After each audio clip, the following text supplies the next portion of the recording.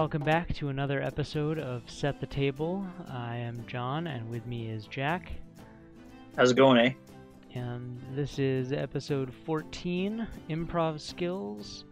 Um, we're talking about what that means, why you should have it, and uh, hoping to try to, to do something that is pretty universal to whatever roleplay game system you are using. Um, but like we like to do, um, talk about the games that we each have played in the past two weeks. Uh, we played 7th Sea, and that has been a lot of fun. Uh, continuing on, um, we didn't get to play this week, but that's okay. We'll uh, we'll pick it up again. Um, but I, I like where it's going.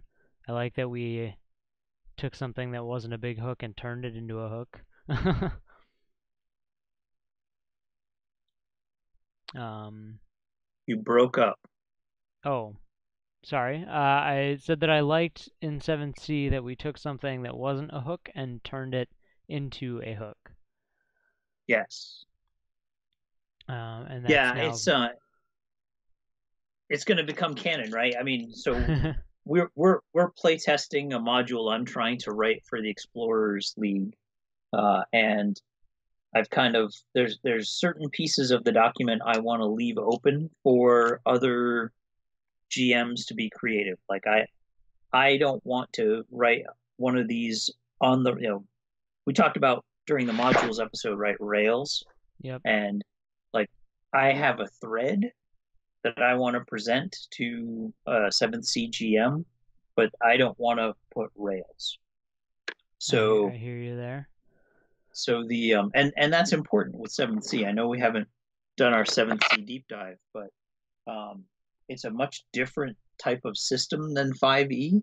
Uh, it's much more cooperative, kind of uh, much more like a fate or uh, even a fiasco where the the GM is there to kind of provide some structure and then you players can spend raises and change the narrative.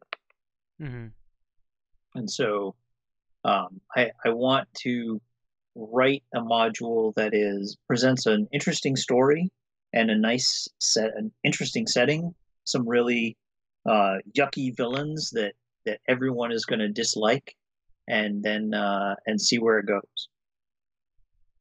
Well, all right. Well, I am looking forward to seeing where it goes as well. Uh, I think we've taken it in places that you didn't expect, um, and we may need to do more than one playthrough if you're going to try to see what different groups of characters might do in different situations.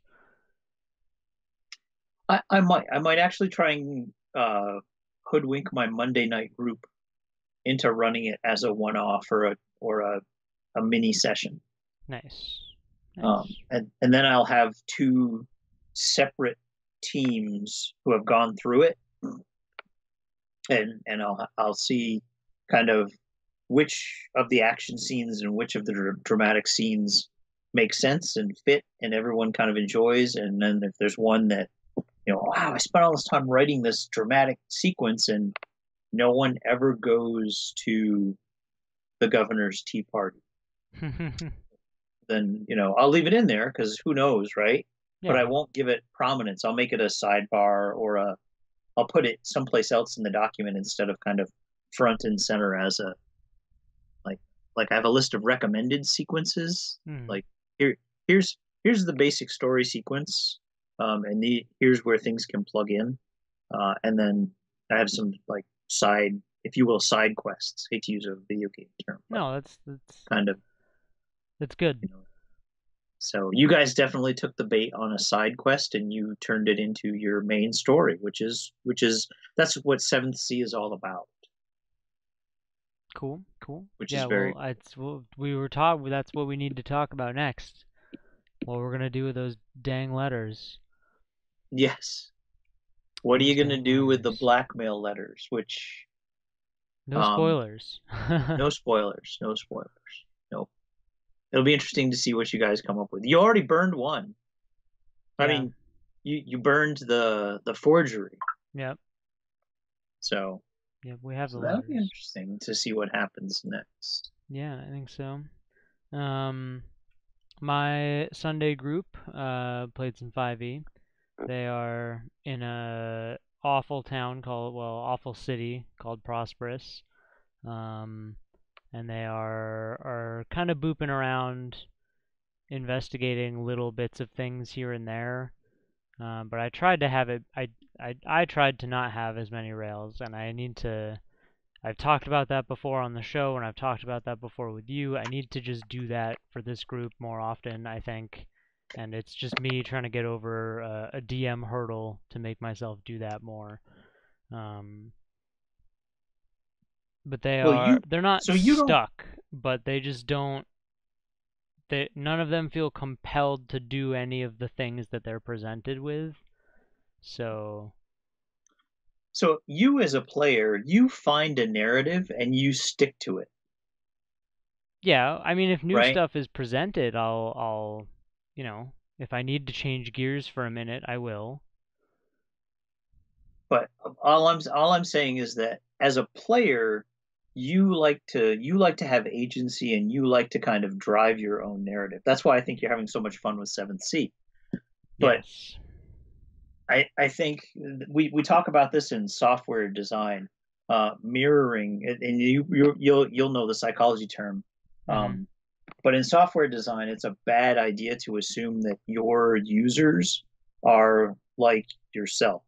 Uh, and and I think you're kind of it sounds like, and I, again, I'm not in your group, so I'm, I can't say for certain, but it sounds like you're kind of presenting them with lots of hooks, and no one's driving that narrative. Yeah, yeah, or it's just it's the the driving isn't urgent. It's, you know, 15 miles an hour down a scenic route without without a, a clear goal or destination The or the question, threat to drive you so forward. so my my, it's funny you you say that. My Monday group is kind of in the same space. Um, we've it's it's a it's a neat adventure. It really is. We're basically in prison, and uh, we're what's the um, we're we're kind of prisoners that help the guards, and there's a term for that. Double Um, agents, no, no, no, no, no. We're not. No, it's it's the um, gosh, I forget. I'm, I haven't seen Shawshank Redemption in a hundred years, but um, trust trustee. That's it.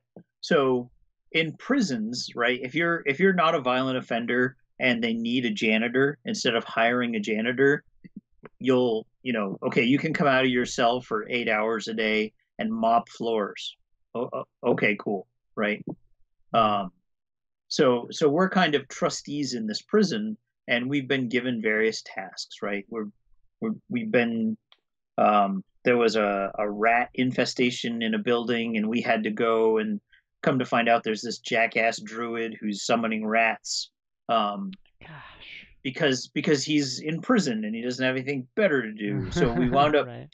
you know, we were gonna. We're like, hey man, we're here to clean up the rat problem, and he's like, oh yeah, it's in the basement, and of course it's full of traps because he's trying to kill us to feed our corpses to his rats. Um, so there's there's all these little fun, and there's a whole like underground tunnel system, kind of like a la Hogan's Heroes, that the guards Mhm. they kind of know exist, but they don't know what's down there, and they they're too afraid to go down there. Yeah. So our our party has been tasked with kind of mapping out the the tunnel system underneath the the prison. Um, but many many many sessions have kind of gotten into this rut where we talk to the guard. The guard gives us a bunch of stuff to do. It's due in 10 days. We go off and we do the stuff. We come back and the guards say, Oh, cool. You know, you didn't die. We were expecting you to die this time. Here's more stuff. Um, and so it's, it's, um, rut's too negative. It's, it's repetitive, right? I, I, Yeah. I, I'm having fun, right? So I don't want to call it a rut. Um, but Right. but it is it is starting to smack of the repetitive and there's i think there's a bigger story uh but we haven't found it yet and we've been playing for months Yeah, I feel like I need to to do something to to throw more of a clear objective at them to prevent us from having, you know, going months without perceived progress. Sure.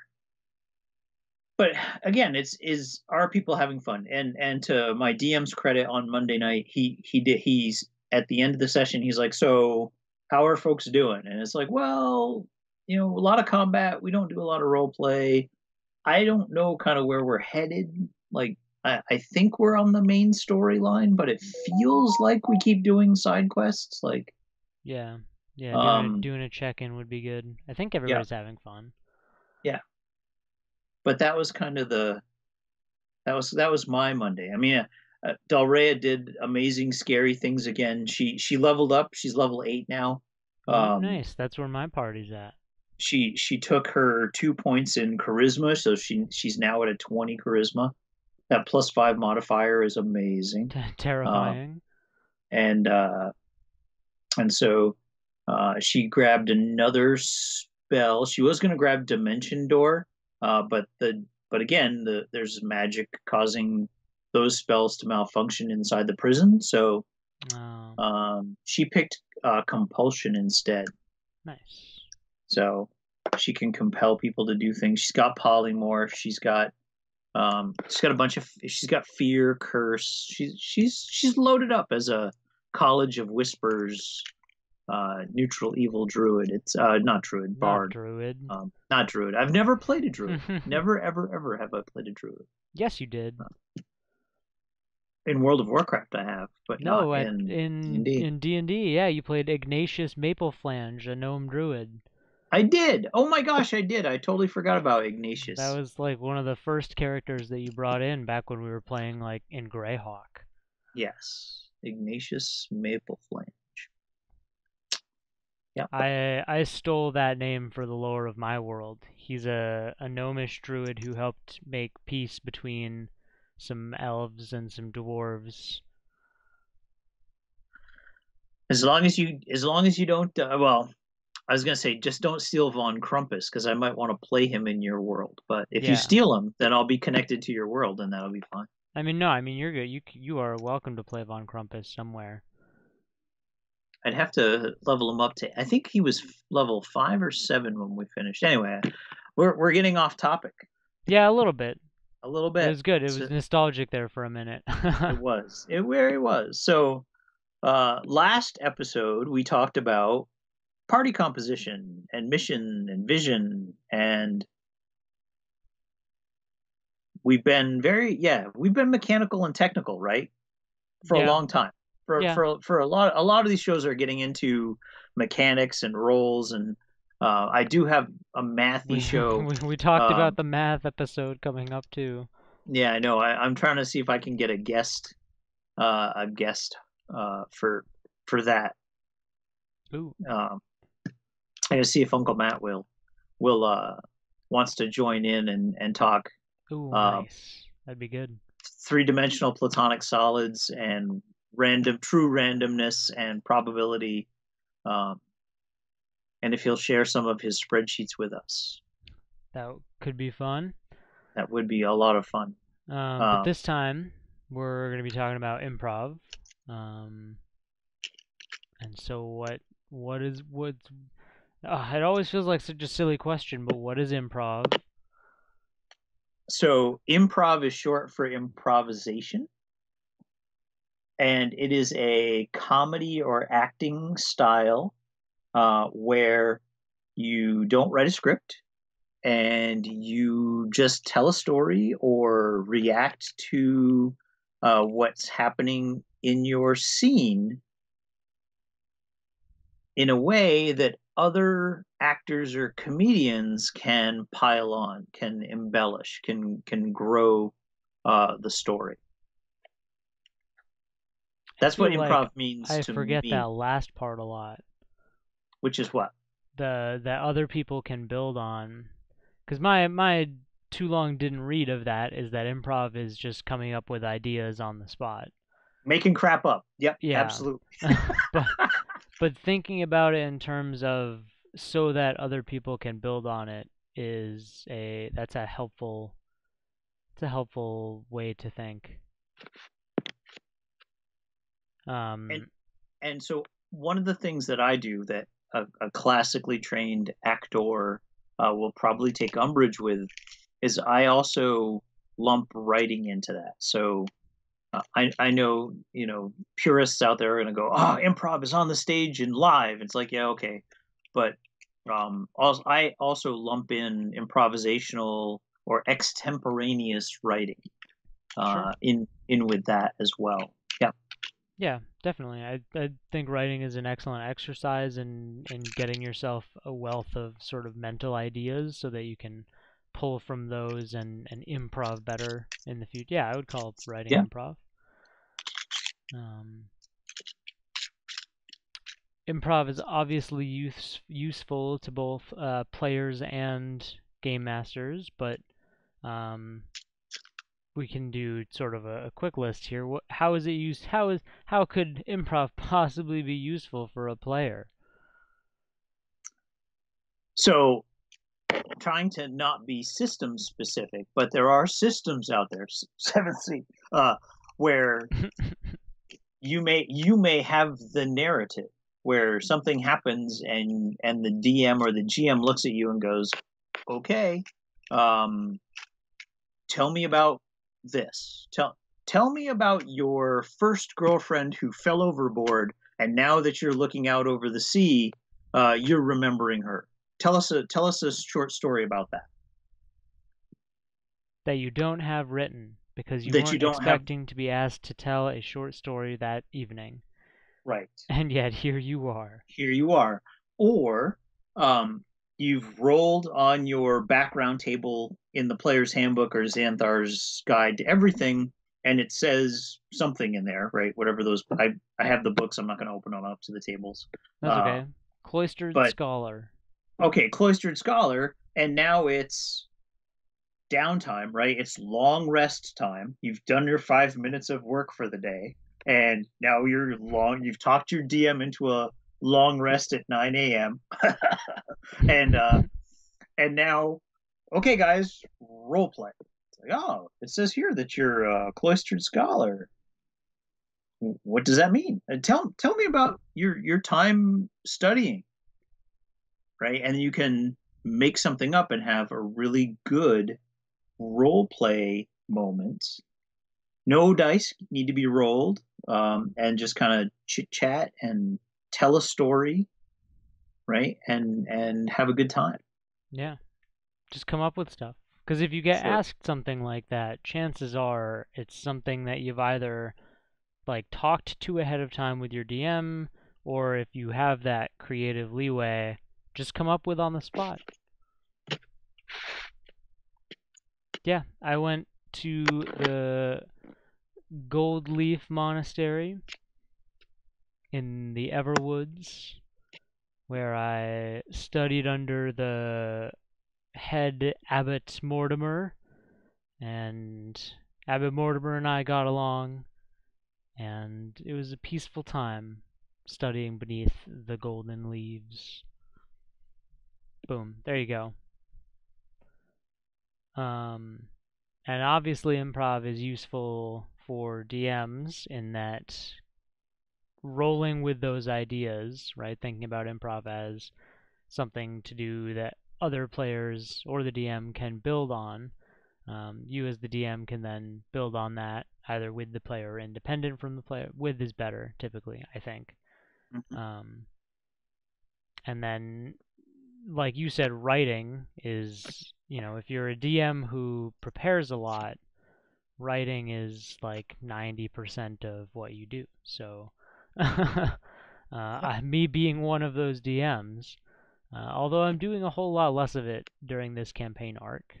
I'm trying to do more of the the improv and and let the players drive the story. But I again, I feel like I'm gonna have to move away from that a little bit. Sure. Um, but improv is good for those DMs who like don't want to spend lots of time prepping for their sessions because um, there are have been points where I have spent you know four hours of prep for one time of of game play. Uh, so you know prepping for a three hour session takes two hours a night every day of the week. Um, so that you know that is a that's not a it's not a bad way to do it if you like writing and you like homebrewing um, and you have a, a good narrative that you want to share. But it's a lot of work and if you get if you are good or seek to improve your improv skills you know if you get good um, you'll you'll have to not have to but you have the option to write less and still feel as confident in your ability to storytell and to weave a narrative that is compelling and coherent and avoids plot holes. Um, it definitely saves time to be able to whip stuff up.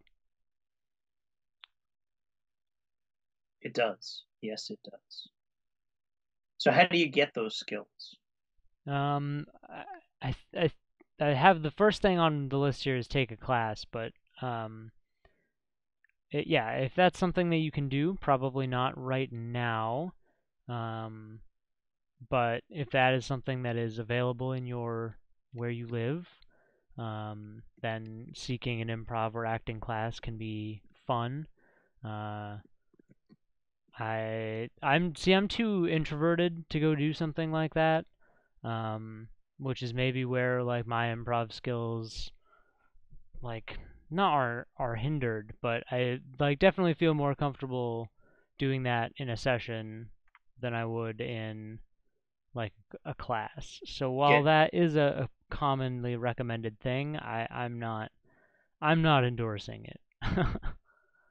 so so there's there, there I've I've been googling a little bit for improv like tips and tricks and and there's a bunch of good web pages that just talk about how to do it um, versus you know signing up to Vermont Community College and taking a you know theater 204 improv and comedy class. Mm-hmm. Um, so so that's I mean the online resources are, are another way you can can do that. Um, in I, I added watch the television show Whose Line Is It Anyway? Oh sure. Yeah, that's a good so example. if if you've never if if if you're still kind of fuzzy on what is improv and and if you want to see professionals do it well, um, that's that's that's a, a great place to go. Mm-hmm. Um, is just watch that TV show and and it's it's kind of structured like a game show. There are yes, there are professional comedians who who have uh, been doing this type of stuff for years. They're they're trained, talented professionals, but that those are good people to watch, right? If if you're watching a trained, talented professional doing improv, um, you'll pick up tips and tricks from them that you can use in your your experience. Yeah, good. It's a good show. It's funny. yes, it is. Um, I yeah, I think uh, you know, Google is your friend. Um, that couldn't be said enough. Uh, we should pass out stickers that say that. Um, but practicing, I think, is a good way to do it. Uh, and obviously, besides like just playing more sessions, um, I I often find myself like talking out loud to myself uh, as if I was one of my characters or NPCs, just to, to sort of get in their head or to be in their head while I think as them to work out some of the development of them. So whether that's like, oh, how, what does this person think about uh, the king, you know, and it's the yeah. the crotchety old sailor who runs their ex sailor who runs the bar. Arg, the king be no friend of me. I I haven't been knowing him for very long. I moved here to retire, and he drain takes all of my taxes. Uh, you, you know, um, or yeah. or how to how to segue into a, a quest giving moment. So you know the players might meet a character who they don't really have a reason to talk to, but that character needs to say something clever or punchy to get their attention to, to make them ask another question or to make them you know sort of care in the moment. Um, or cinematic moments are fun to to practice. and just you know trying out different you know ways that they would say it. Uh, I guess that's sort of like the the overthinking mentality is like if you can think about every scenario that will happen, then you'll be prepared for it.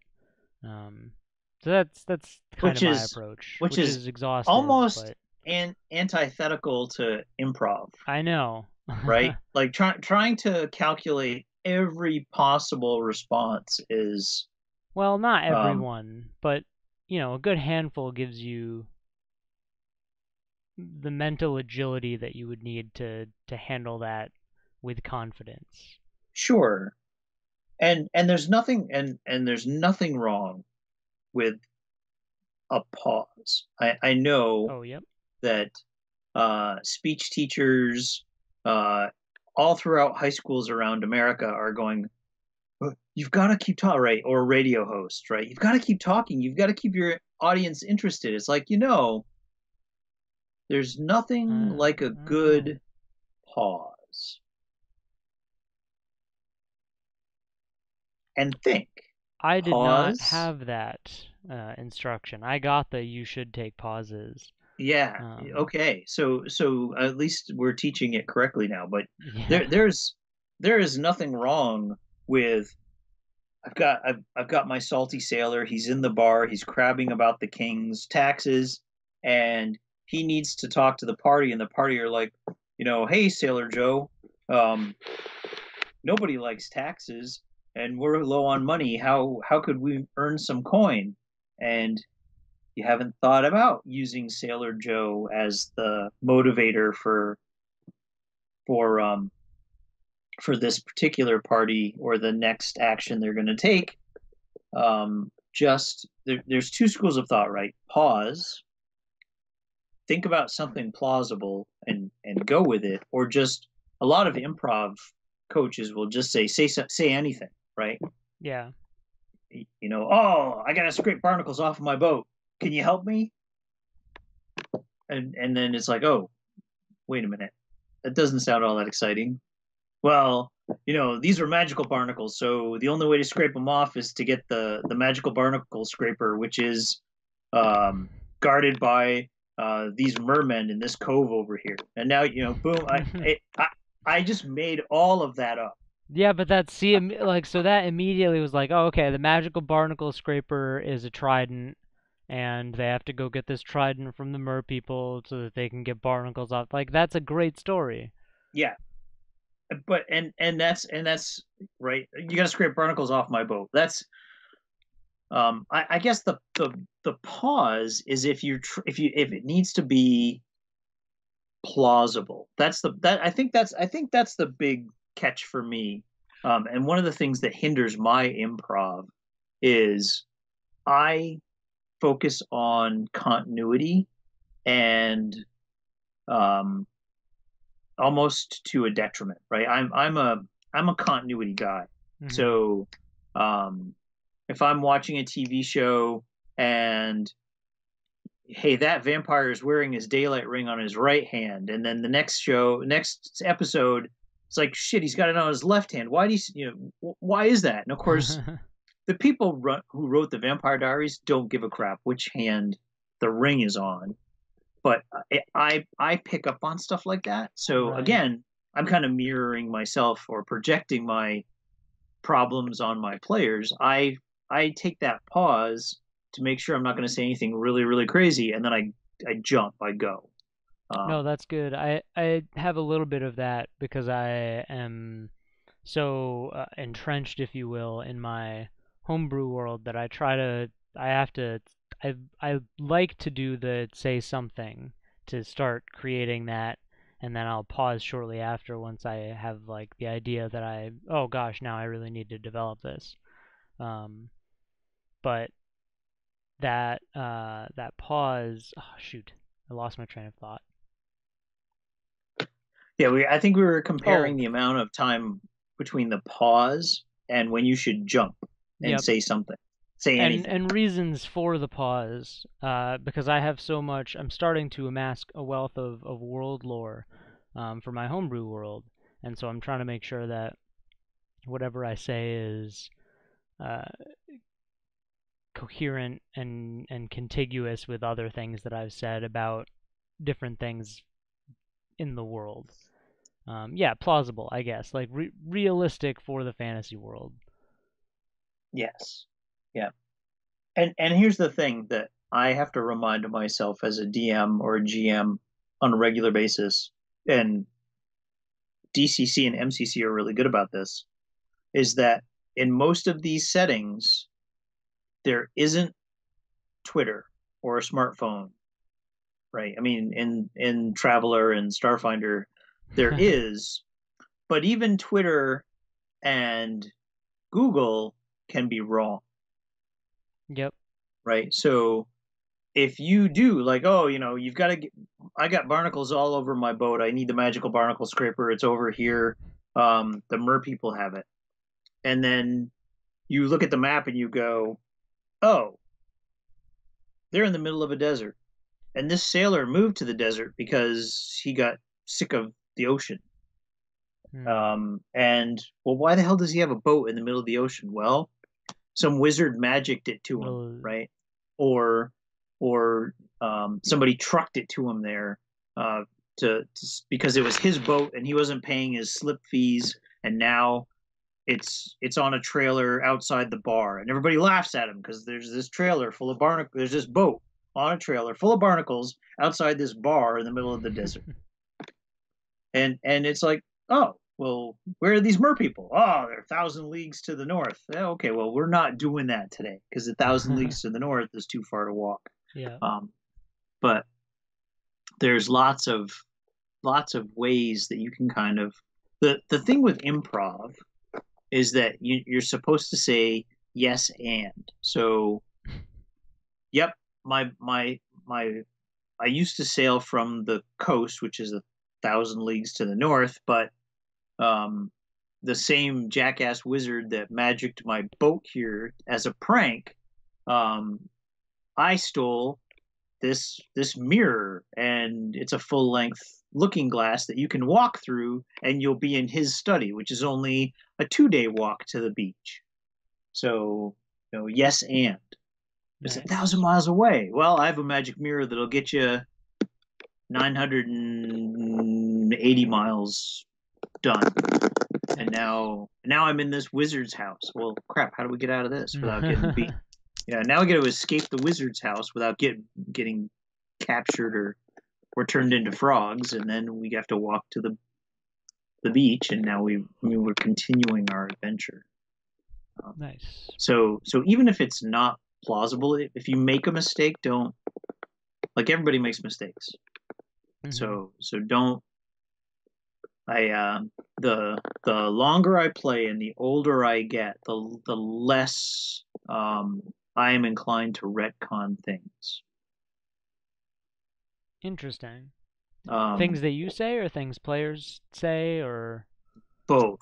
Like Okay. if if a player says it, it happens, right? Oh, I I take his favorite flute and I break it because I'm sick of this bard playing music. Okay, you broke his flute.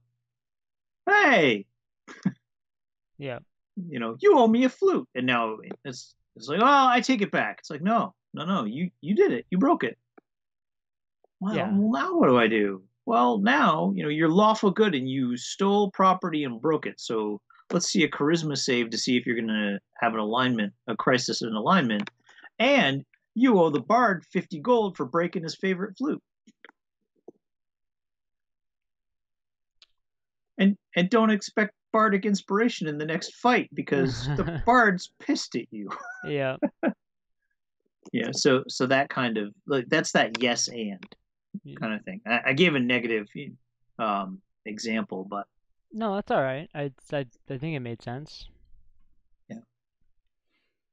So I um, kind of I have similar processes for you. I daydream, Yeah. um, like when I'm driving in my car and a car drives past. Um, I daydream about where that person is going. Interesting. Or if I get behind somebody and they're going really slow, it's like, huh, I wonder why this guy's going really slow. Um, and and sometimes I come up with interesting little stories, and other times it's just it, it doesn't work. But um, uh, I will give myself little creative writing assignments in my head uh, as my day uh, goes by. Um, the other thing I've I've got is uh, write and pass. So this is an exercise we did in some of my creative writing classes where uh, you do a quick write. Well, that a quick write also works for this, right? So um, randomly pick two words, right?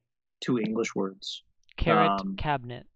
Okay, so now you are going to write a story that involves carrots and cabinets, uh, and you set your timer for four minutes, and you write as fast as you can um, for four minutes.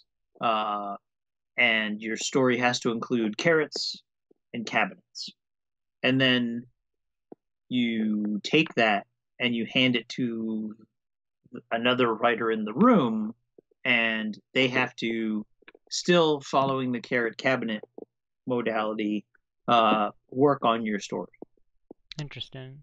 So so you you inherit a story which you have to read, um, and then as you, you get so many minutes to read, like you get three minutes to read the story, and then you get another four minutes to write, and then you have to write as fast as you can. Um, so that kind of write and pass.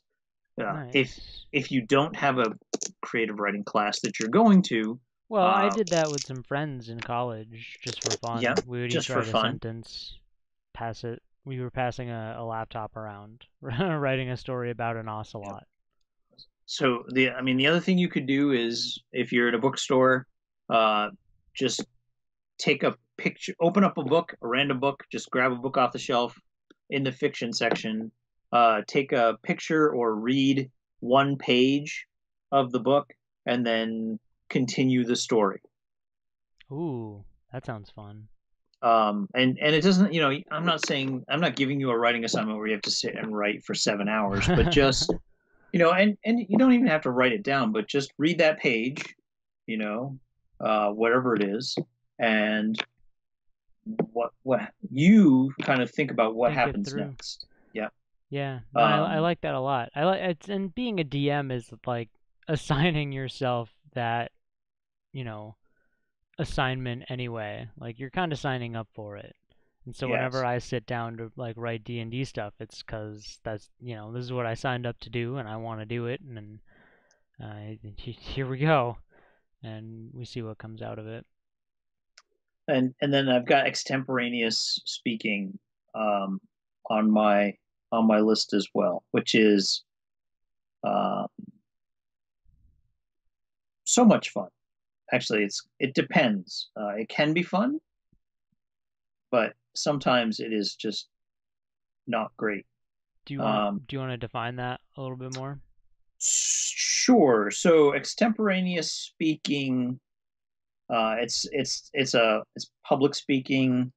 Uh, you you basically you get a topic, um, and you have a few minutes to prepare, and then you speak for five to All right. seven minutes. Sure. So, um, I'll give you a topic, John. The feasibility of faster than light travel. Okay. Okay. And then you'd have like three minutes, three to five minutes to look up the, t- like if you knew nothing about physics and, and faster than light travel, Yep. uh, you have, you have three to five minutes to Google like the salient points, uh, and then you have five to seven minutes where you speak about faster than light travel in the 21st century. That sounds more like a regurgitation exercise than a creative exercise, but I could be wrong.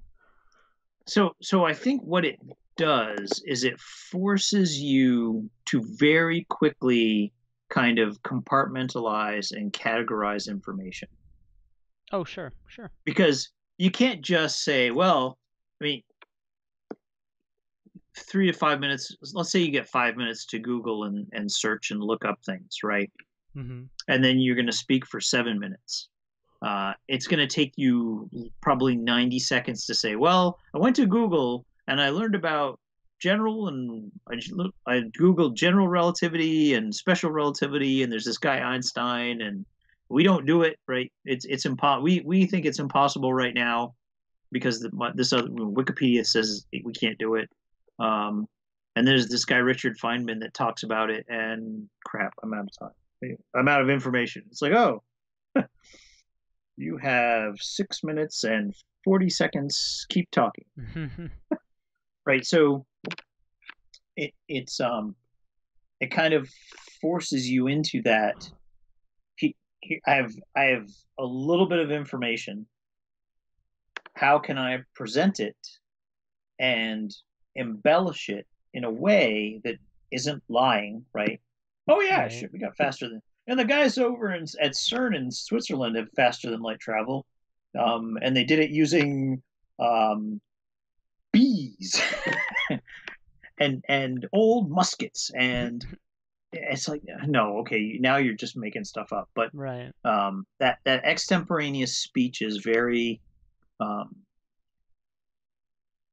it it puts a little bit of pressure on you yeah to to sense. accomplish things um it it helps you kind of quickly categorize and sort information and then it makes you um present information in a way uh, that is memorable to your audience, kind of thing.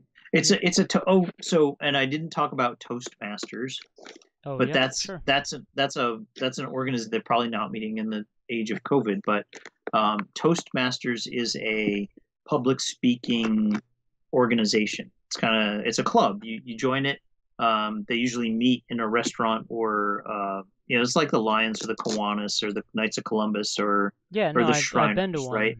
um, and and same thing they help you with public speaking because right more adults in america fear public speaking than fear death so is that true uh, it is true that's the the number one fear of adults in the united states is public speaking followed by death i think I thought, i'm gonna I look that was, i thought it was fear of the unknown i would put snakes on there but that's because i i don't like snakes Yeah. um, no, I I see the value in in speeches like that now. Um, I I one of the the the business consultant that I was meeting with, um, when we were when I was talking about forming Red Hoodie was, uh, or is rather in one of those Toastmaster clubs, um, and I went to one to to see it and to to present a like a 30 second elevator pitch. Um, and it was it was interesting. They have much longer to prepare than five to seven minutes but um, but yes that's a, a good good resource. Um, I like doing my daydreaming and thinking about D&D when I am sort of zoned out at work because uh, I do a repetitive job. So um, I think about D and D a lot, and I have a little notepad in case I have ideas that I jot down real quick.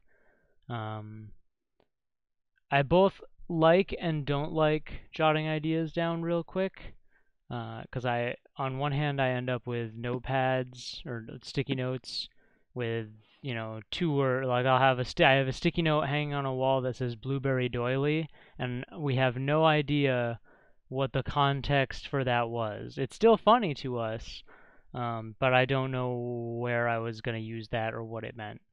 Um, but I, sometimes I'll have those notes where I've got you know a name or something jotted down, and I'll remember. Oh no, okay, that was this this end this wizard NPC who I wanted to make know this other guy, and um, so sometimes the quick note is good and sometimes the quick note is bad. Um, I also I also like uh, doing my D and D daydreaming in the shower. Um, I just listened to uh, a podcast recently that was talking about um, inflammation and its role in depression and stress, and uh, one of the things that they were talking about was was you know saunas or, or hot showers having sort of that de-stressing effect and I think part of that de-stressing leads to an increase in creativity which you get in a warm shower. Is that why I think better in a shower? I it it so the sauna effect like that, having a, a an internal body temperature of what was like 101 or 100.1, I think it was 100.1, um, can actually help like reduce inflammation in your body. And inflammation is one of like the things that cause more or so we suspect is one of the things that cause most of the issues that are commonplace. So, you know, if we can reduce it, inflammation, um, then, you know, that is good for people. So, yes, Mm. potentially. So, I can send you I'm- that podcast later. I think it was uh, one of the Art of Manliness ones. oh, cool. So I'm. I'll throw out another idea. Where uh, did you find? Did you? Where did we land on the uh, fears? So, so I, I have, I haven't, I, I have to turn my VPN on to get. I, I'm, I'm gonna get mom blog stuff if I Google it right now. Oh, all Um, right. I, I'd rather go to my college library and pull like real Yes. Yep. research instead of just what do Americans fear most? Because it's yeah, Google's going to tell me all sorts of crazy things like you know zombies and other weird stuff. But anyway, um, I- am looking at it on the well. I'm looking at the expansions on the shelf because I'm not sure where the base game went. But I would highly recommend playing. See if you can guess what I'm going to say. A game. It's a card game. It's a storytelling Oh. card game. Oh, Buzz. Buzz. Go ahead. Is it The Fault in Our Stars? Uh, no. Oh. But that, but um, before there were Wait, stars is before another. yeah, that's a that's a book. before there were, st- we'll, we'll, uh, I'll talk about before there were stars here in a second, um, because that's also another fantastic storytelling board game that can help you with your improv uh, and you creativity. were you were thinking Once Upon a Time. I am thinking Once Upon a Time. I think you still have the base set because I'm looking at I do. seafaring tales and knightly tales and animal tales. Um, but so Once Upon a Time by Atlas Games is a card game where you get a hand of 11 cards and you have to get rid of your whoever gets rid of all of their cards first wins like Uno. Like Uno. The cards have verbs. I'm sorry, the cards have nouns and adverbs, and there are some verbs um, on these cards. And you have to come up with once upon a time there was a witch, and you play the witch card. Yeah, And she it's ca- lived- characters, items, settings, actions. characters, items, settings, and actions. And so you're telling your story. There was a witch, and she lived by a well. So I get to play the well card. Um, I can't stop for more than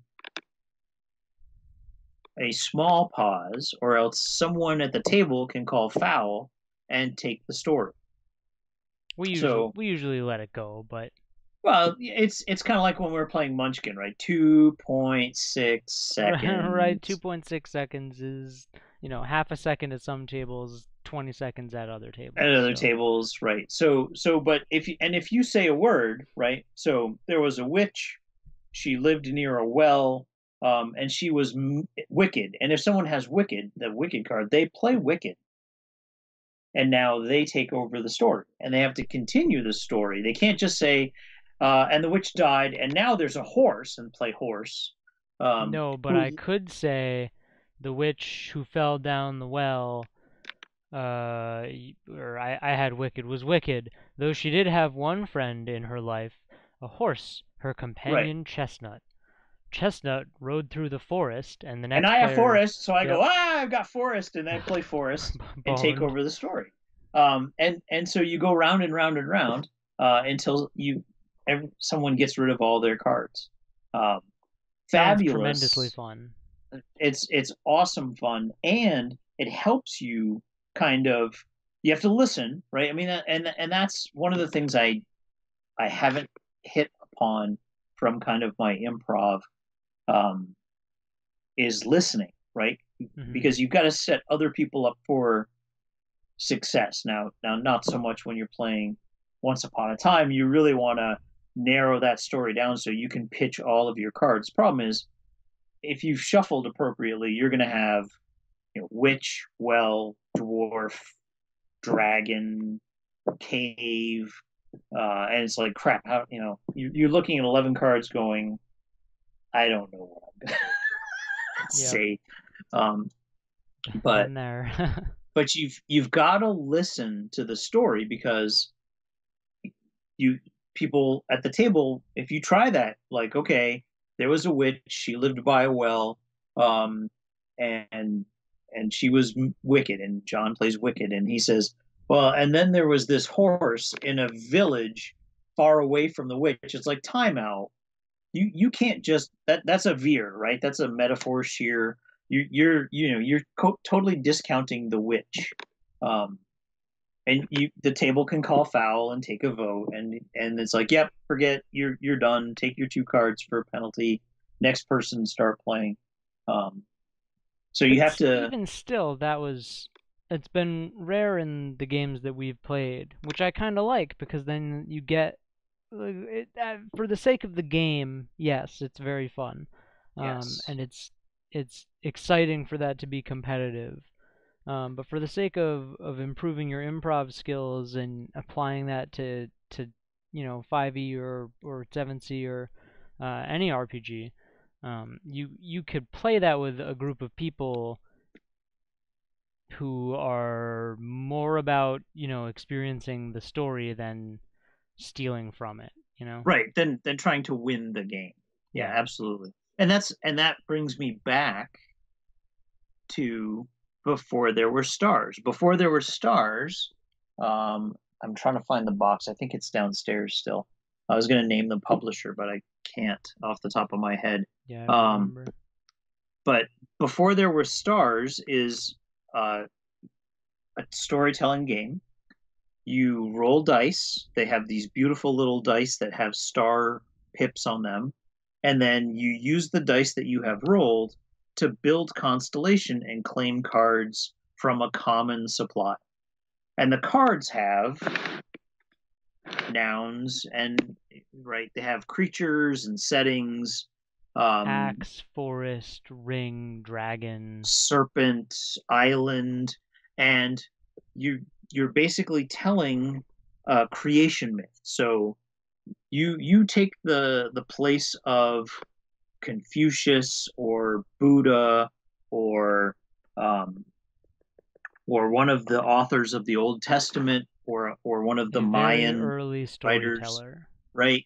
And you are you write it you okay, in the beginning all of reality was an island floating in the void and lightning struck the island and created the stars and the planets. Uh, and and that you tell this the story, you have to incorporate all of the cards that you've claimed from the supply. The the neat thing about this game is that everyone listens to the story and then you have a little bag that you pass around and each listener awards you a gem uh, that is that is that is valued as so the best story gets the I think it's the yellow gem.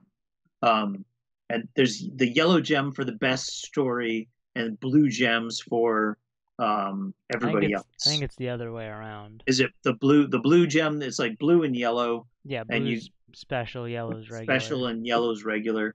Um, and then but it's it's the traditional myth structure, right? So there's the creation story, there's the why are people the way they are story, right? So, right, um, I'll get Old Testament, biblical, Judeo-Christian on folks here, but the the first phase is the creation, right? The seven days, and Oh, in here we seven go. I've got right? the. It's it, chapter one is in the beginning in the beginning, right?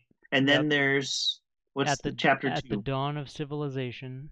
Right? So what? How are like this is the snake in the garden, right? Humans humans were peaceful and weren't civilized, and then how did they become civilized? What's number three? Uh, a great hero emerges The hero's journey, and then number four at the end of days. is is Revelations. Yeah. So so you you you go around four times telling these making up these stories using the cards and the cards you pick for in the beginning you keep one or two of those uh, for at the dawn of civilization and then yeah, you keep each, each so consecutive chapter. builds builds on on the on the previous one so Yeah. yeah that that is a tremendous amount of fun i think uh, in the beginning my tribe um, the the the fir- the formless void the only thing in the formless void were the, was the serpent and the shark. And the shark ate the serpent and pooped out the lands. That was a, Uh, yep, that was a good one. and and it was fun and of course everyone around the table is having a good time and it's like oh yeah we're all living on shark you know uh, all of reality is nothing but cosmic shark poop. Sure of course. Uh, but but that's it's there's games like that. Um that's I- so that's before there were stars by Smirk and Laughter Games. smirk and laughter games yeah i love those guys um and then i'll throw one more board game at folks because we're talking board games Yeah, it's Uh, playing games to learn games. That sounds like the kind of education this world needs. yeah so so i'm looking at it right now arabian nights by z-man games and That's much heavier though, yeah. It's much heavier. It's probably I think it's still in print, but it might be pricey.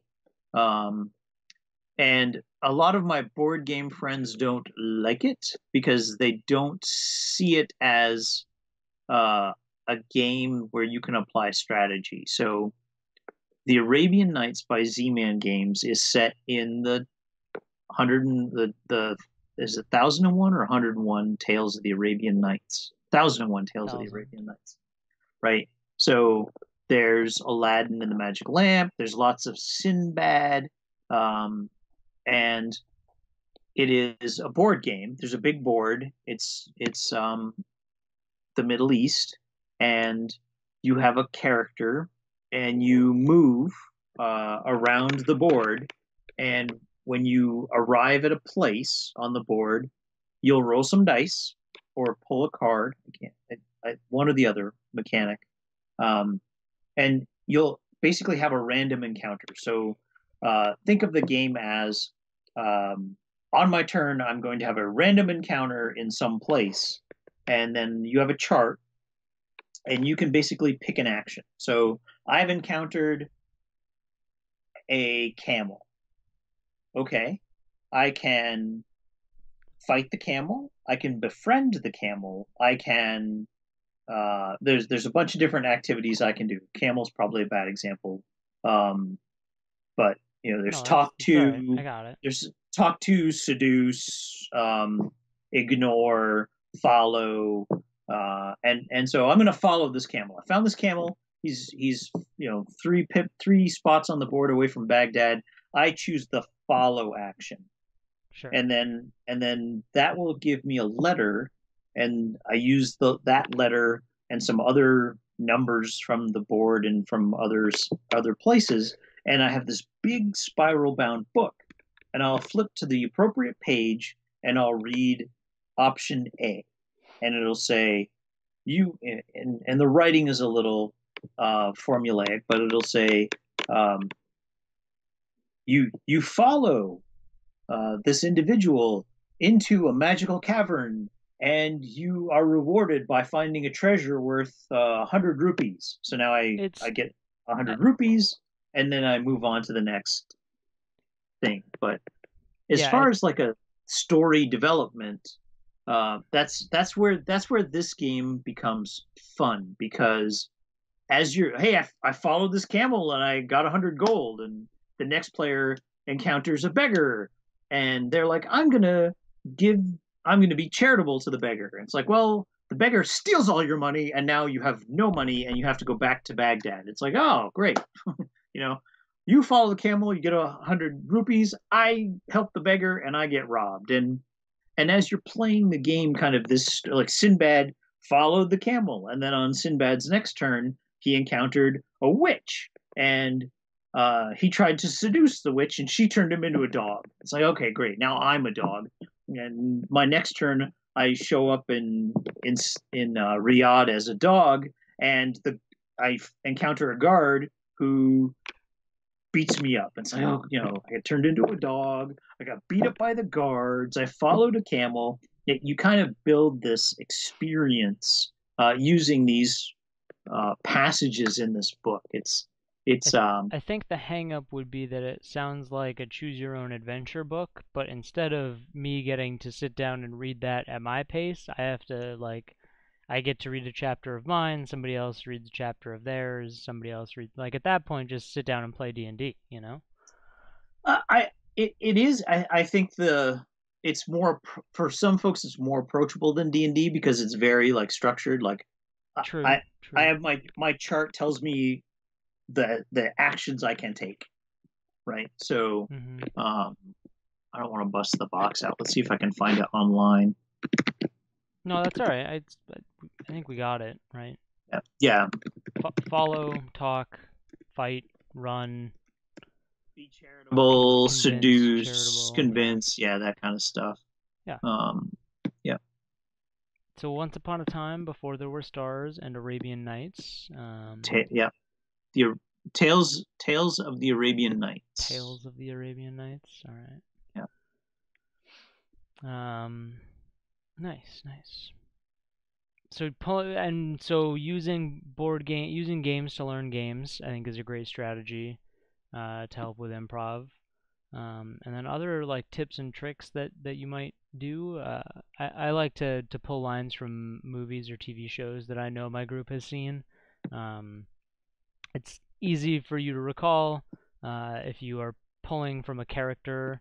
Uh, it's easy to give some flesh to an NPC in a quick moment where you know oh you encounter another wizard well what does he look like uh well he is he's got like gray Gandalf robes um but hair like Snape um and he he looks kind of kind of crotchety um and and old but like you that immediately gives you an idea of what that character looks like um by pulling from things that you know people at your table your party at your table would be aware of.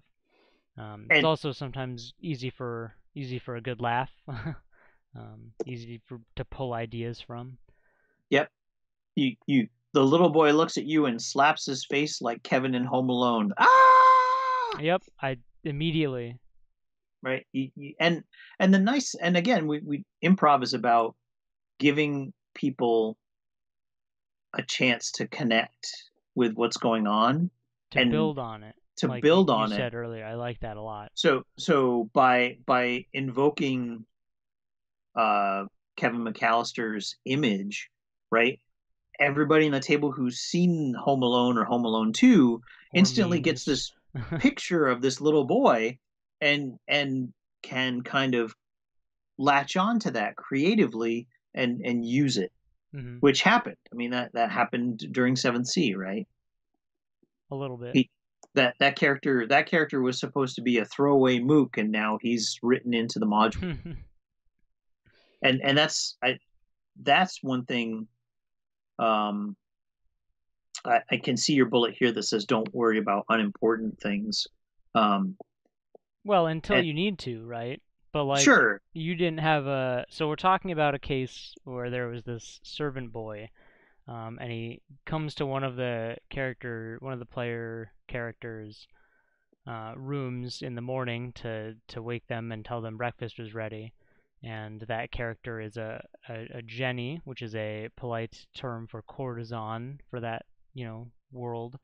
Um, and so she comes to the door butt naked and Well, so so she said I answer the door, and as the GM, I I was having a little fun, right? I was like, well, you didn't say you put any clothes on, and you're a Jenny, so I'm assuming you're you're sleeping in relatively risque um, apparel, so she was like Ooh. nope i sleep naked naked, and and and that's that's that's a great back and forth of like so. I I made an off con. I don't think it was off color comment, but uh, no right i i had a the player i asked for clarification like okay i'm you know, there's a bang on your door breakfast in 10 minutes breakfast in 10 minutes uh, I answer the door. It's like, you know, you didn't say you put any clothes on, and and and this is credit to the player. She was like, you know, you're right. I sleep naked. So you're answering the door naked, and the yes, little and eight eight year old boy, right? Yes, and so she answered the door naked. An eight year old boy sees boobies, uh, does the Home Alone thing, ah, and runs runs away embarrassed. Um, and and that little interaction wasn't planned, it wasn't written, it wasn't scripted, uh, but it created a moment in the game that everybody enjoyed. yeah, no, it was fun, fun, funny. It Um, was it was funny, it was fun, and that NPC started to take on a, a role or a or a persona that was, you know, I had never planned. Right. And I could have said, well, he's not in the story, you know, forget it. He just let's off off, you know, he goes off camera and he he disappears. It's like, wait a minute. You know? Well, it's it's like the drummer in the in the Cantina band in Star Wars. Where is that guy? Well, but he's he's not important to the Star Wars story, right? We we don't, is he now? you know, but that's that's a great improv or creative writing prompt. Like, where is that guy now? Yeah, right? And and take 10 minutes and think about the drummer from the Cantina band in the first Star Wars movie, you know, uh, is he still drumming? Is, you know, is Yeah. he married? Does he have does he have a family? Does that I he's- species he's drumming get forever. married? Right? So so that's that's that. And then yeah, I, I like this don't don't sweat the small stuff. Don't worry about the like what's he wearing? Oh, you know, okay. You pause, and take a breath. What kind of we're we're in a city. It's a he's a middle class merchant. He's probably not wearing full plate mail armor. Um, but if you do, even if you say, well, he's wearing full plate, it's like, well, why? Well, this is my father's plate mail armor, and I'm, you know, this is the anniversary of the battle of whatever where my father fought. So I'm donning his armor today. I normally don't wear this stuff; it's wicked heavy. Um, No, so, that's, that's terrific. But that's but that's you know, oh, I made a mistake. Shit, this guy shouldn't be in full plate. Well, you know, there there's a hundred reasons why um, somebody is doing something, Right. and and sometimes, right? What's the what's the reason? Um, there isn't one. I just today I felt like blah. Right. I wore cowboy boots the other day, and my wife was that looking at me, and she's like, "What are you wearing those for?" It's like, you know what? Today feels like a black cowboy boot day, and and you know that your your NPCs you develop as a DM or a GM, right? That they are based on people or creatures or um, or entities or computers, right? right. uh, if you're playing Paranormal. usually some influence.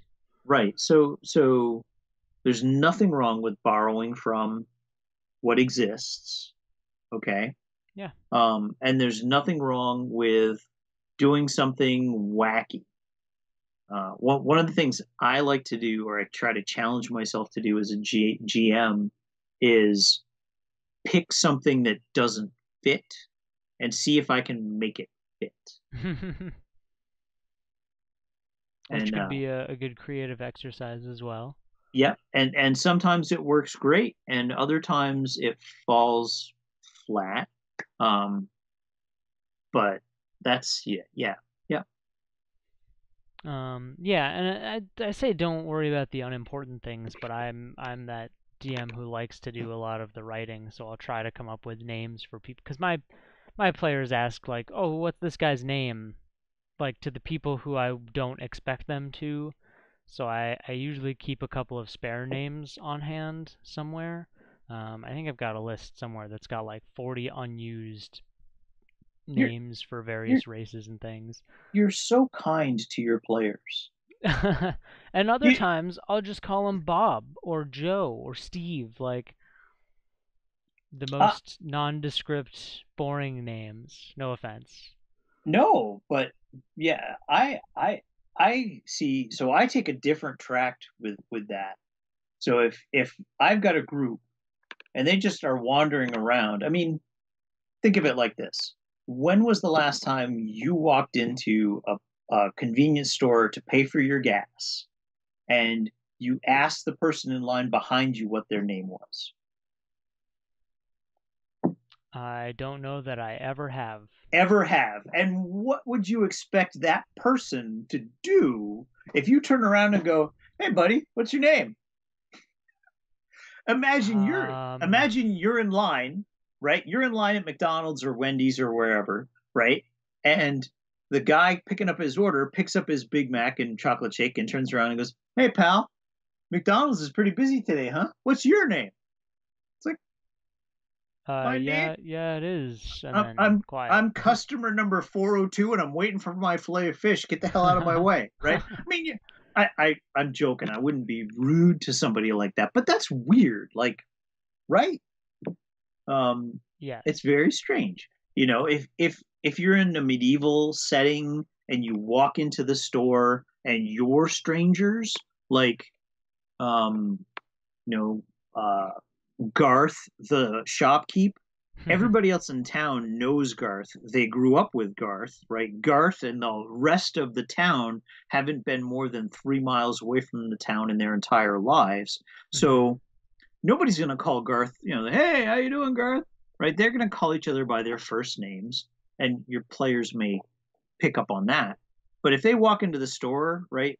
Walk into the store, what's your name? I'm I'm the guy who owns the store. Who the heck are you? You know, you you're new. You you're weird, strangers, yeah. right? Yeah, I mean that's maybe I just RP my shopkeepers is too optimistic. Or give them name tags. Yep, that's a good idea. I like that. Um, I mean, yeah, and, but and not not don't worry about their names. Uh, but the name isn't as important as like their place in the story. Um, 'cause I still can't. Is it's not Luigi? What's that little guy's name? Luigi. Oh, it is Luigi. All right. It is see? Luigi. I gave him. I gave him. He's he's Mario's brother, Luigi. Terrific. He he's a Um, child. So I was like, little guy, Italian sounding name, Luigi, Nice. There you right? go. And and and he got named in all of six seconds because I needed to give the poor guy a name because he he entered the story and stayed longer than than I intended. And I doubted my ability to remember the name, but totally remembered how he factored in.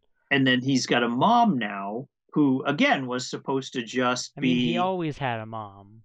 Luigi's always had a mom, but the mom again was just kind of she she was there to prove that there's blackmail happening um and and she was supposed to kind of educate the party about the the political and social structure that is Vodacce, right?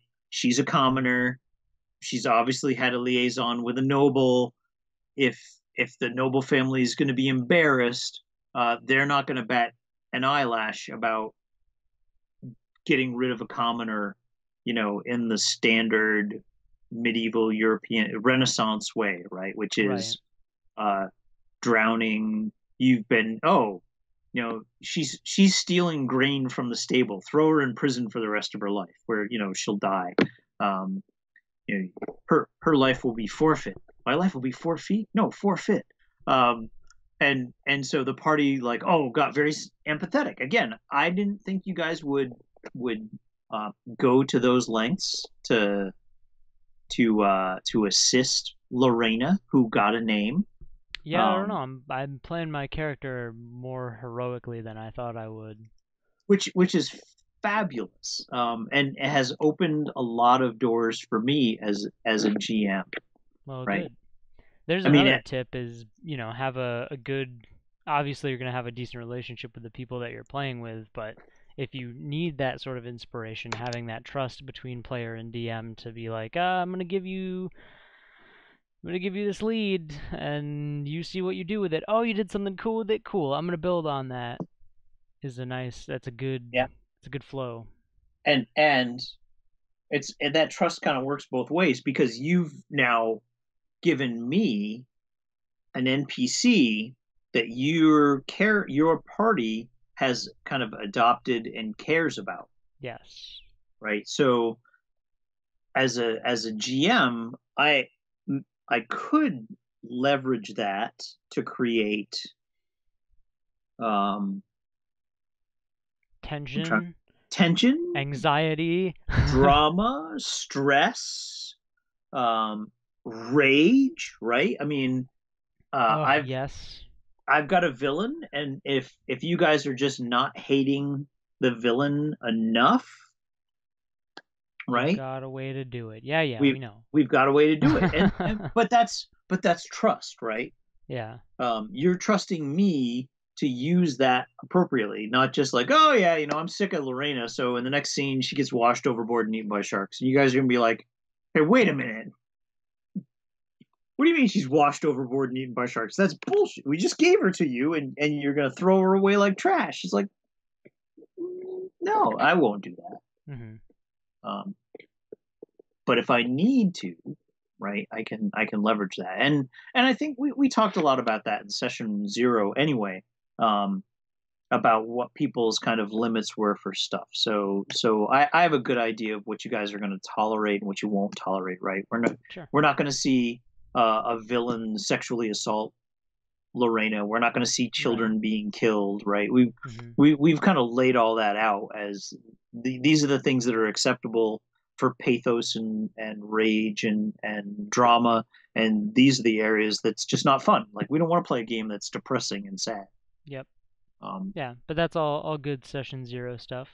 right yep and that and that'll help you as you're doing your improv stuff because you'll know like okay murdering children is off the table. So uh, if i have to say yes and it's like wow you know the car crashed and and or the carriage crashed and luigi was in the carriage. It's like yes the carriage crashed and poor luigi was in the carriage but at the last moment he jumped in a treasure chest and he's locked in the chest now and nobody has the key. Oh, he might he might suffocate. You've got you know as soon as seven raises are spent luigi will expire Oh man. go right and Oof. but it's but it there's a chance to save him No, that's there's- good. It's so good. but that's but that's that's yes and right and Mhm. and again these I, I this is all right off the cuff i haven't prepared any of this i didn't spend any time uh if you can see my contribution to this week's show notes it's like seven words it's terrible no, Uh, it's it is all good. But this is this is the the power of yes and okay? Yes and he crashed. It doesn't mean he has to die right? Um, and we talked a little bit in previous uh, episodes about fudging rolls right? Hmm uh, for for other systems which are more like okay you know yep you're trying to save the orphans and the green dragon is breathing its cloud. Everyone make a saving throw. Oh crap half the orphans failed their saving throw well it, that doesn't as the G, as the dm right it doesn't mean they have to die Right. right it means Well, rules is written. It does.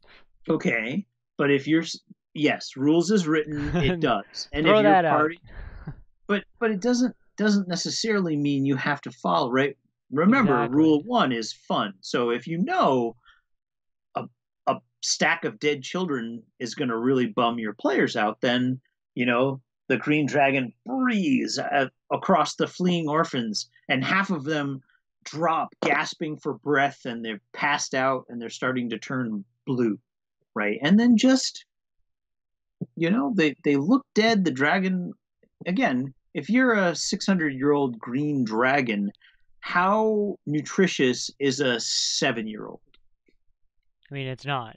You're probably It's just not. killing them for fun at that point. at that point right you're killing them for fun you're killing them to prove a point you're you're you're just being a jackass you're probably up to horses and oxen Stupid and- green dragon. owl bears right you're you, it's like yeah they're gonna scoop up a even a classroom full of seven year olds isn't gonna be it's that's not even an It's like a handful of popcorn. It's like it's like half a piece of popcorn, right? And when was the last time you cut a piece of popcorn in half and ate it? Never. Yeah. So, so that's that's you know, I, I, like I said, I, it, part back in the show, I, I don't like to retcon things, um, but so you do have to pay attention, right? When you Mhm. when you're improv, you just can't say whatever. I, I know some coaches are going to say, "Oh no, you say whatever pops into your head." Um, we have to temper that a little bit as a dungeon master because you have your session zero boundaries that you really don't want to break because you're gonna, you know, you're gonna make the game uncomfortable for your players Yep. you want to make sure you fit in canon, right? Because as much as I think Lolth is is cool and wonderful, um, you know, I'm going to take that back. I was going to say, as much as I think Lolth is cool and wonderful, she isn't just going to stop off and and say, "Hey, here's a dozen roses and a bottle of champagne and 500 gold because I think you're cute." Um, nope, she's not. you know, but here's the thing: she might because she's a demon goddess of chaos. Yep. And if she bestowed a boon on a lawful good dwarf in front of a bunch of drow, what better way to start chaos? That's true. You know? So here here I'm trying to think of this thing that violates canon, and it's like, you know, no. it Yes. might be okay. Yes, and yes, she does show up and give this lawful good dwarf a boon. And why did she do it? She's the demon, uh, the spider queen of chaos. Like maybe she's screwing with people. Yep. No, no, Right. that's a great, great thinking. Yeah. The the building on things that you know, because you're creating the story collectively. You're creating the experience collectively, unless you're playing a module. But um, even then, you have often you have some room to to do some of that. Yes, Um, even then you have something that you are contributing or changing. I mean, we played. I think I've talked about this in previous shows, but we were playing Tomb of Annihilation, and Mhm. we were in the sub quest where we're helping the little frog people who are being um, tortured so that the Yuan Ti can make this wanderlost drug. And of course, the module calls for the party to liberate the camp and befriend the frog people. I forget the race of the frog people, but um, No, that's okay. That's- Yeah, you you've you've mentioned this. yeah, because I I played I I was role playing a drow, and anything that's not drow is garbage. So um, any race that's not drow is beneath notice. Um, again, that's that method actor in me coming. but but so so the party is like doing all of this planning. Like we're going to attack at night. We're going to open the slave pen first, and we're going to collect a bunch of sharp. We're going to sharpen a bunch of of sticks and give them a bunch of rocks so they can kind of fight their way. You know, we'll do a fighting retreat through the jungle, and and of course, here's my chaotic, evil uh, drow cavalier, and he goes, ah, yeah, I'm not doing that. And the party's like, what the? What are you doing? He's like, these people have an enterprise and they're making money, and I could give this to my aunt, who's a matron mother, uh, and she could sell this ten times what they're making in Port Nyanzaru. The the the quest is stop the drugs from coming into the city, not destroy the source of the drugs. And everyone's like, "Oh my god, what is wrong with you?" And it's like, "Well, why don't you guys hang out here and make your plans? That's cute. I'm gonna take a walk and and see if I can clear my head and try to wrap my mind around what you crazy surface people are talking about." And what does he do? he goes to the head Yuan Ti, who happens to be a female, and it's like, "Hey, I'm gonna I'm gonna roll a seduction roll," and I nat twenty on the seduction roll, and the whole module, that whole chapter in the book, right? Uh, my poor my poor DM is like, "Great, you know, I paid fifty bucks for this hardcover book, and here's forty pages. I might as well just rip them out." It's like, "Don't rip them out." but yeah, we're not doing that. Like, and and yes, and my DM, thankfully, uh, believes in yes and. So yes, and I I started bringing the drugs into a warehouse in the city. Um, I didn't distribute them in the city. I put them onto uh, floating discs and dimension doored them to uh, a warehouse outside Ched Nasad because my matron, you know, my aunt is a very powerful matron mother. Now I didn't benefit from any of that, right? My DM was like, Mhm. "You can do all this, but I ain't giving you squat for gold." It's like, oh, okay, fine. I got XP. We got XP for the encounter, um, but the hundreds of thousands of gold pieces that I'm making my noble house, I don't have access to. that makes sense. Well, I'm only a male. Yep. You know, if I was a female, they probably would have cut me in on a percentage, but um, but that's that's yes and that's the power of yes and and and my group to this day remembers that Quandor Zavir, Sir Quandor Zavir, seduced the Yuan Ti lady and basically betrayed a whole race of, of NPCs that we were supposed to use later on in, in the adventure. Um, yeah, they, they don't let me forget that. They're like, you know, you made this a lot harder on us because you did this, this. It's like, yeah, I know. I'm, but those I'm it's those memorable moments that are like why we play the game. right. Absolutely. Absolutely. Um, I think in in sort of a summary of, of points, um, we you touched on it, but just to flesh it out a hair more, uh, was listening is just a, as big a part of improv as speaking is, because you have to, like you had said earlier, you have to follow the story and and make sure that you're building upon other things and leaving space for your ideas to be built upon. Um, so you know, listen, listening to understand, not only to respond, um, is is sort of something to keep in mind in regards to that. Uh, and then, like you said right at the beginning, and that I have come back to because this is not. I am going to think more of this in the future, um, but creating things such that others can build upon the things that you've created. Um, you know, the the and isn't self-serving so much as it also is, you know, party collective serving. So I, I really like that. Cool. Yeah. Do you have any any final thoughts here?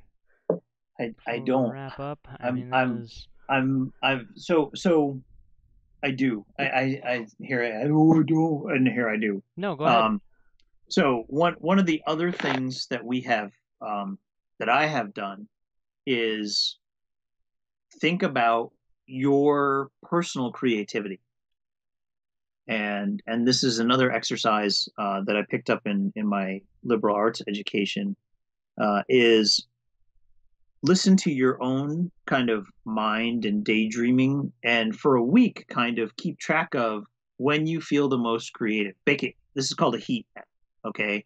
Um, make a heat map of your creativity. Productivity people will say the same thing like when you have energy and you're really ready to work and do do your job like give yourself five points and when you're like oh my god i have to get a cup of coffee and if that phone rings again i'm i'm putting my head in the in the microwave right you give yourself zero points um, but if you, if you kind of uh, build some self awareness about when you're the most creative, um, that will help you. When it's like when when when should I play? Right. Sometimes you can't. Right. I mean, if, right. Can't if- get a D&D group together at 3 a.m. in my shower on a Sunday. So on a Sunday. No, but it, but if you realize that by Thursday, right, or Wednesday, let's say Wednesday, hump day, right? Everybody hates hump day.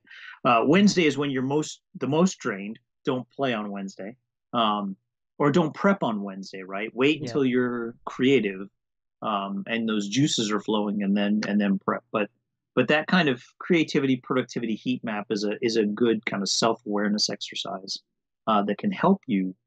Um, and even if you can't play when you're the most creative, that's when you're like, hey, I'm taking, you know, if three in the afternoon on a Thursday is when you're most creative and you've got a flexible enough lifestyle, like take your lunch at three, right? Take your lunch at three, go to the subway, grab a sub, and sit there with your book or your tablet or your smartphone and tap out something. Yep. Right. Um, so that that's my parting shot. And now I'll, now I'll be now I'll stop saying yes and see that's that's the other risk that you run into um, is that you'll just keep going yes and yes and yes and yes and and and uh, you have to be again we, we go back to listening i'll bring this back to listening and i'll listen because we're out of time um, but you want to you want to make sure that you listen so that you know when to stop yes and and let somebody else take over That's that's a good good closing tip, and uh, maybe a sec next. i think next week or not next week, but next episode we'll do our our 7C deep dive, but this could be a, a little bit of a bridge to get us over to uh, how to play NPCs and big bad evil guys so that you can stop yes ending the story and start a new one. Um, yeah. Yeah. But yeah, uh, no, that's you know cr- create so others can build upon what you've created. Listen to understand, not only to respond, and think about your personal creativity. Keep track of your creativity and exercise it uh, when you are are most or best able to. Uh, so that's going to do it. Set the Table episode 14. Um, if you want to uh, give us a quick comment, ask us a question, say hello, uh, you can do so on Twitter at jmskoda5 or at Red Hoodie Games. Uh, you can also find all of our previous shows up on YouTube. Just look for Set the Table um, episode, whatever you're looking for. Uh, I have found out that Apple Podcasts only shows the three most recent episodes. Um, so I'll investigate that at another time. Uh, and if you would like to help out by any more than simply giving us a, a view or a listen, head on over to patreon.com slash skoda. That's s-k-o-d-a um, and for even a dollar you can join us in the patron discord hang out chat ask questions to be answered on the show so on and so forth. Um, so that's gonna be it for me and for jack. Thanks a whole bunch and we'll see you next time. Good day eh? Thank you.